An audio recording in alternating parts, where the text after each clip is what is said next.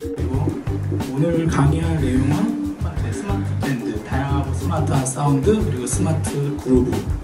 결국에는 이제 개인의 손 안에 담겨서 개인이 직접 만들어보는 참여하는 시대까지 도달, 도달했다는 것. 그렇죠?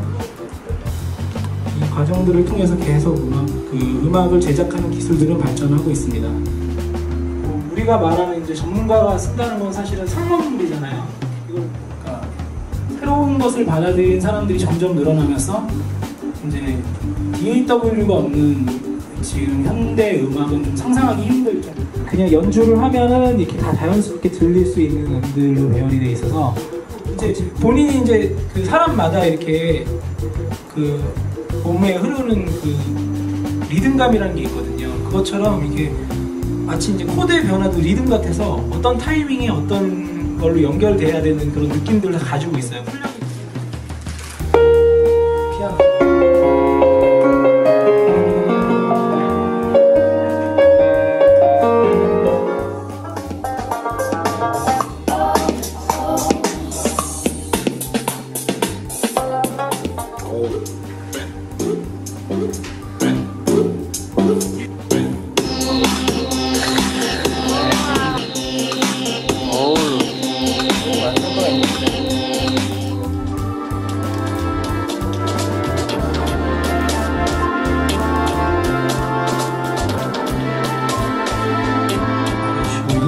이것이 바로 iOS가 음악 작업에 지금 현재에도 굉장히 프로페셔널하게 쓰일 수 있는 모습이다라고 돼요.